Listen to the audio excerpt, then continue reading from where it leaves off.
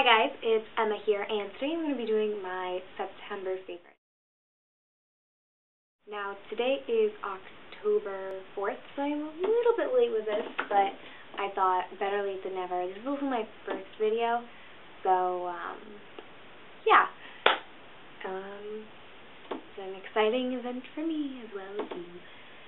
So, let's get started with some eye makeup favorites. Um, First one is this Wet n Wild eyeshadow um, palette in 248 Lust. Now this has some beautiful um, purples in it and some nice charcoal and a nice highlight color. I love, love, love, love, love this charcoal color to kind of smudge it along my lid and then take this dark purple color here, this one, and put that right in the crease and just kind of smoke it out and I love it. It looks really pretty and I've kind of been looking wearing the school recently, I know it's a little dramatic, but I don't like it. So, yeah. Um, then I've really been enjoying this Lash Blast Volume. I've had about three tubes of this, but it's a definite favorite of mine. Lash Blast Volume in waterproof, um, because it's like the best waterproof mascara ever, and because I swim a lot, waterproof is very helpful. So I really recommend this mascara if you're looking for kind of that voluminous look, but it isn't clumpy and it has a nice curl, it still looks really nice. So that's what this mascara does for me. Um, some blush favorites. I have two blushes that I've been loving this month. The first one is Sugar Bomb. I've had Sugar Bomb for about a year now, and as you can tell, it's quite beat up. Um, and it has those four colors. It has kind of a coral color, a light peachy color, a pink color, and a lavender color. And as you can tell, I have hit pan on the coral color. But I kind of swirl it around. I don't know why the coral color is like the most popular. I just kind of swirl it around pretty equally.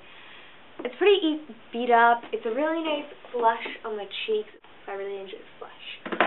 Um, the Tarte Amazonian Clay Blush. Um, this is in the shade Dollface. These are supposed to last 25 hours. I wouldn't say they last 24 hours or 25 hours. I would say they last a good amount of time. Like, I don't have to touch on my blush during the day, but I never touch on my blush during the day because that would be a little awkward in the bathroom. Um, but this doll face color is gorgeous. It's like a really pretty kind of light pink blush. It has a little bit of a sheen to it, but it's like nothing noticeable on the cheek. And it's a really natural look. This it's kind of been like my little foundation duo. It's not actually a real foundation, but I've really been enjoying the MAC Pro Longwear Concealer in NW15. This is a really nice concealer. It has a nice little pumperoo on it. Um, it's really long lasting. It lasts the whole day. It doesn't crease, doesn't come off. It's just really, really nice, especially if you're at school or if you visit and you want to have it be shown. You can cover it up. It looks pretty natural.